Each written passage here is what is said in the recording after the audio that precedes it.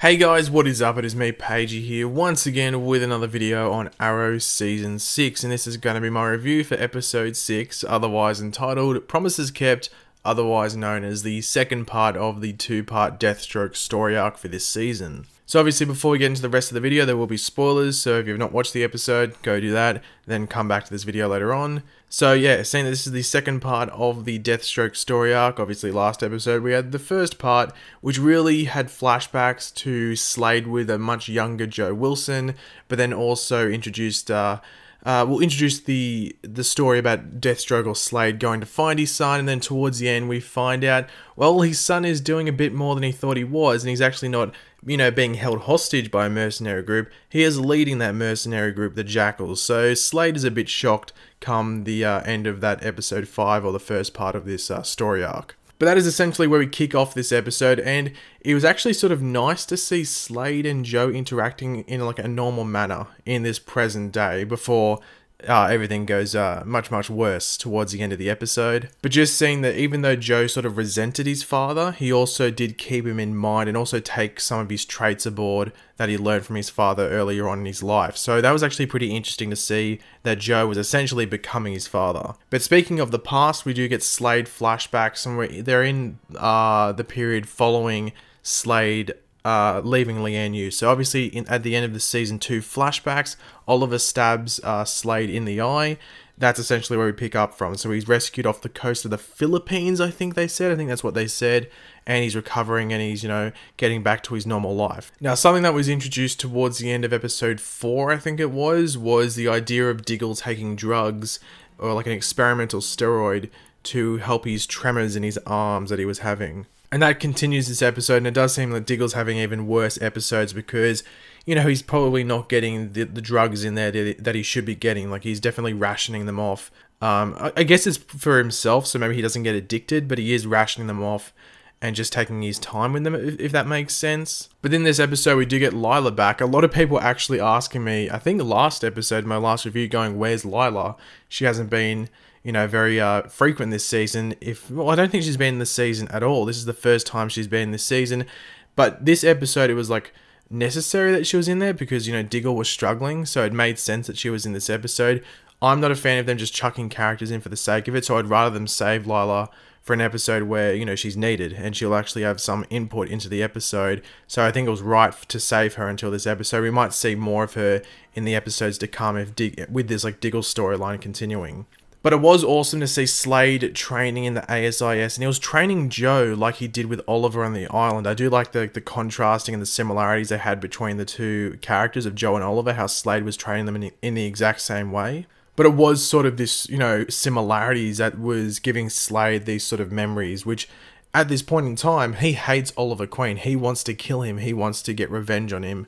So it's not really good that he's having these memories of Oliver Queen's because it's sort of driving him mad. But it's due to this like sort of uh, memories that are coming back that we get Shadow back. Now in a trailer from a while ago, I think it was a sizzle reel trailer for um, Arrow season six. We did see a quick shot of Shadow in that trailer. So if you were keeping your eyes out, you would have known that she would have been appearing um, in this episode or in one of these episodes in the Deathstroke two part arc. But obviously, we have seen Shadow pop up in like uh, like visions before with not only Slade but Oliver as well. Like Oliver's had visions of like Yao Fei and uh, Shadow as well. So it's always good to have Shadow back, and this will be most likely most likely the last time we see her. Uh, you would have to think. So that's you'd have to think this is maybe like the the write off point for Shadow, unless they figure out a, a, way to bring her back in. Obviously, she still has that twin sister, who I'm 99.9% sure is still alive.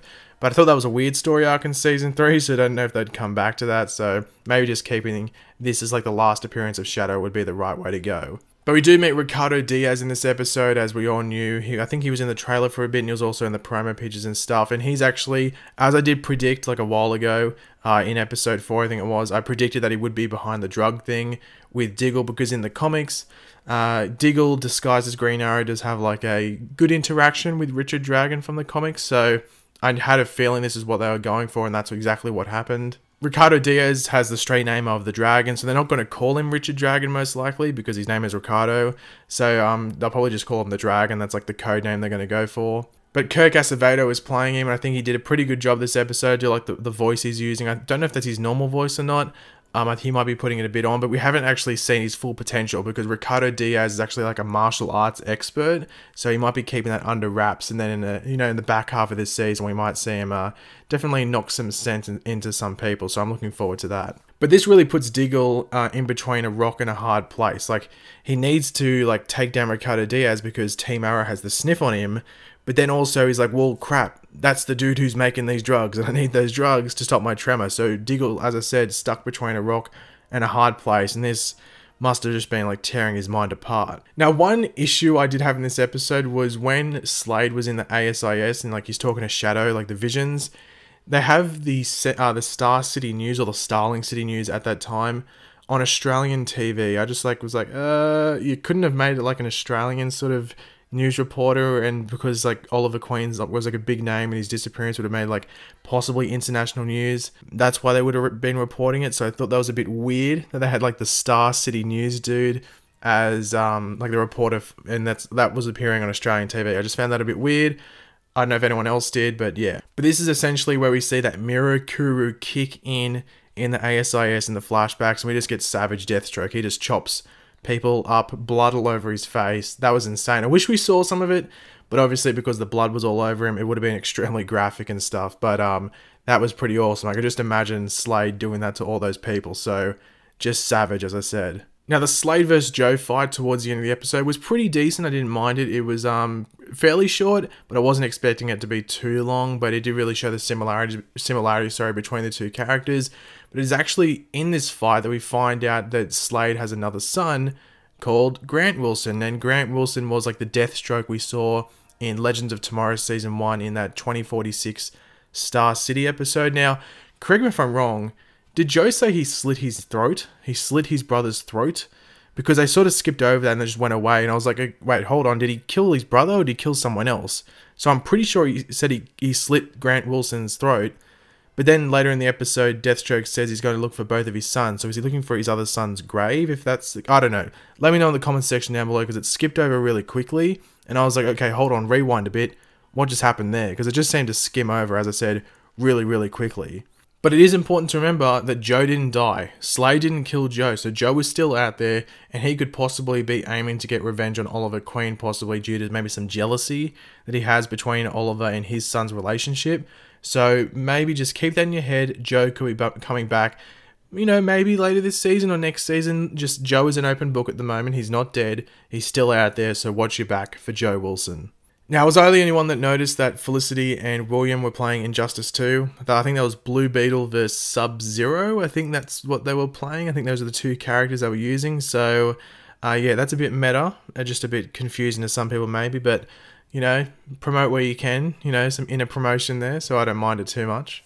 But I guess one of the, you know, the bigger parts of the episode that's going to continue on for the rest of the season, or at least for the next couple of episodes, was Diggle telling everyone about his tremors and the drugs he was taking and the issues he faced when taking down Ricardo Diaz because he was behind the drugs. So now Team Arrow knows about that, except Felicity and Oliver. So Felicity didn't, Felicity didn't go to that meeting because she wanted to spend time with Oliver and William.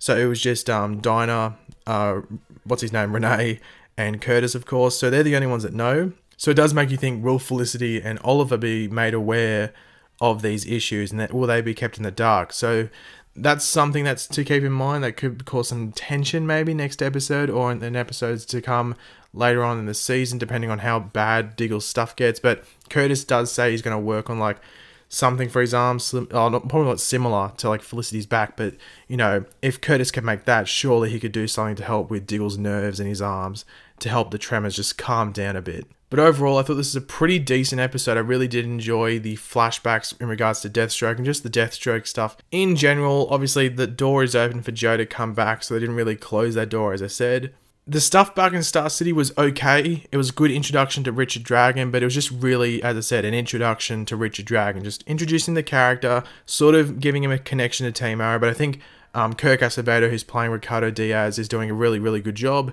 uh, from what we've seen so far, and I'm excited to see more of him. And I think it was good that just they just gave us a bit of a taste of him and not reveal like what he's really aiming to do and all of that. And I think they're going to give us more backstories of him in the episodes to come, probably in the back half, because next episode is meant to be a Black Siren episode. And I think even the mid season finale, episode 9, is meant to be a Black Siren episode as well. So we most likely won't see too much Richard Dragon at least until the back half of the season when that starts off in I think mid-January or something. But thanks for watching guys, hopefully you enjoyed the video. If you did, it would be awesome if you could drop a like on the video to show your support.